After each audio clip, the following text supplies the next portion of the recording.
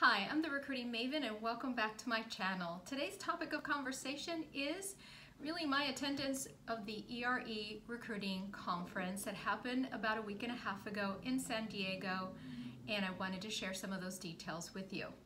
With that said, I just wanted to say a warm thank you for liking and sharing and subscribing to my channel. I deeply appreciate your constant support.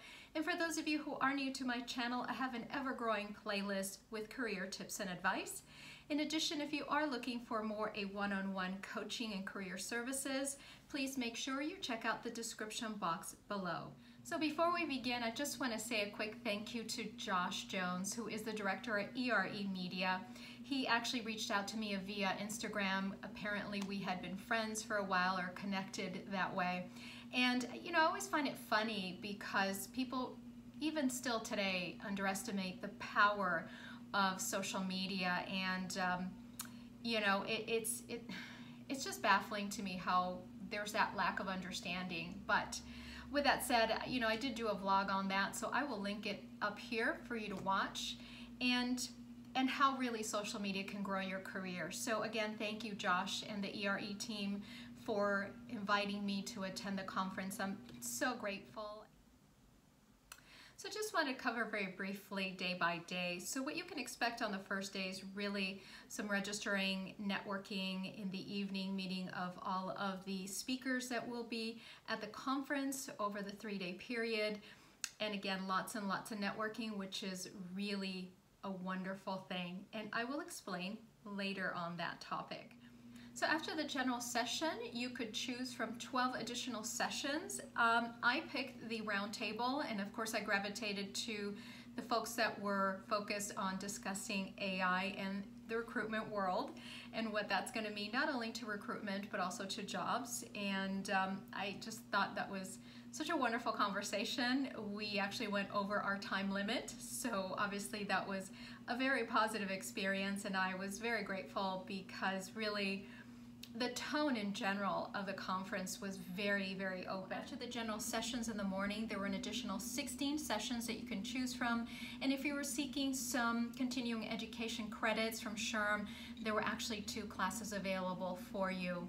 Now, at this point, I just wanted to say thank you to the ERE team for inviting me to the conference. I, I was just, I'm out of words because uh, again, you guys did such a phenomenal job. And by that I mean that there not only there was such a high level of, of individuals attending, but also people that attended were incredibly generous, incredibly open, willing to speak to me. When I went to lunch on the first day and I didn't know anyone, pretty much everyone at my table just spoke to me. I had never met anyone and I have attended plenty of other conferences that that has not been the case and people tend to really become very cliquish and they sort of like walk around in groups and they don't really they may just say hi to you and and you know that's pretty much about it. But um, that's not the case. Um, I think this is a, a, hidden gem of for networking if that's something that you're looking for as well.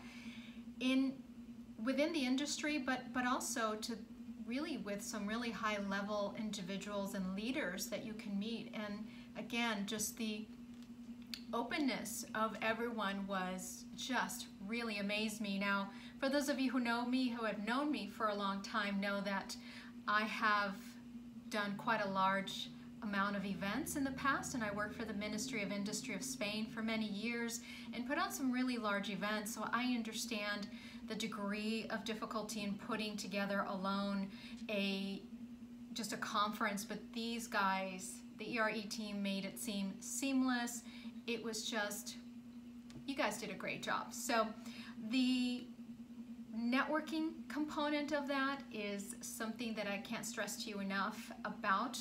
The classes were phenomenal, but the networking just kind of put it head and shoulders above any other conference I have attended in a very, very long time, really, if ever at all. So again, thanks to Josh and the ER team. You guys are awesome. And no, this is not a paid uh, video. So Rest assured that's not the case. So I just wanted to say real quick that um, my video editing techniques are still improving, so bear with me. I did put together a little bit of a montage for all the selfies that everyone took during the conference, and so, well, I just a disclaimer, not all of them, but um, the majority of them for sure. So thanks for watching, sharing, liking, and subscribing to my channel. I deeply appreciate your kind support. And, oh, this is so scary. Hopefully you will like my montage. So let me know in the description box below your thoughts. Take care, have a wonderful day, and enjoy.